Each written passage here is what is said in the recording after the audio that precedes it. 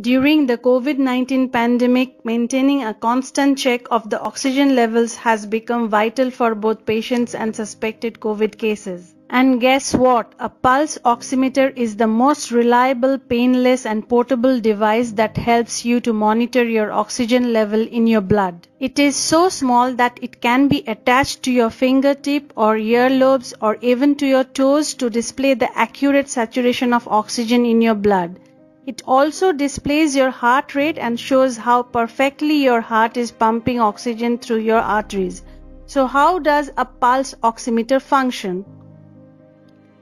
Before we understand how a pulse oximeter works, let us first understand how hemoglobin binds to oxygen and changes the color of our blood. As you know, hemoglobin is a protein that binds to oxygen in our blood.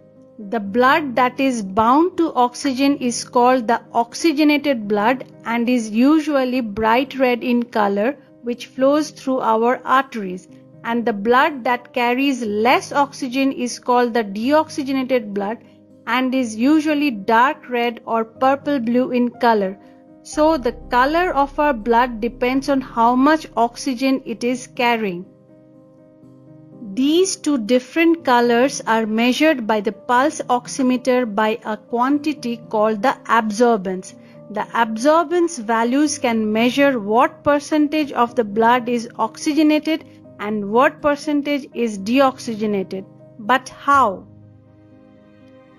You probably know that each color that we see refers to a particular wavelength of light for example, blue light has a wavelength of around 400 nanometer. The red color of the deoxygenated blood absorbs 650 nanometer light. The oxygenated blood which has a different shade of colors absorbs 950 nanometer. This falls under the infrared light. Thus the oxygenated blood and the deoxygenated blood have different colors at different wavelengths. Therefore, we need two lights corresponding to these two wavelengths to measure the amount of these two types of blood present in our blood vessels.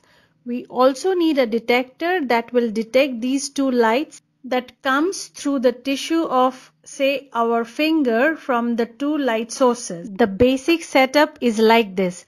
A 650 nanometer LED light source, a 950 nanometer LED light source, a detector that detects both the lights coming out of the tissues, a tiny chip to translate the data from amount of light to the percentage of oxygenated or deoxygenated blood, a display to show the saturation values and also the heart rate, battery to run all these and the circuit. When this is put around the finger, the two lights of 650 and 950 nanometer passes through our tissues and measures the amount of lights that reaches the detector. The measurement is converted by the tiny chip to the corresponding percentages of the oxygenated and the deoxygenated blood. The display tells us the percentage of the saturation values. Oximeters report blood oxygen levels via an oxygen saturation measurement called peripheral hemoglobin oxygen saturation or SpO2. For a healthy individual, the normal SpO2 should be between 95% to 100%. Anything below 95% is an indicator of hypoxia, a condition indicating low oxygen in your tissues or organ. When your blood oxygen level goes outside the typical range, you may begin experiencing symptoms like shortness of breath, chest pain, confusion, headache, or rapid heartbeat. Hope this was helpful and thanks for watching. Comment below if you want to watch more videos like this.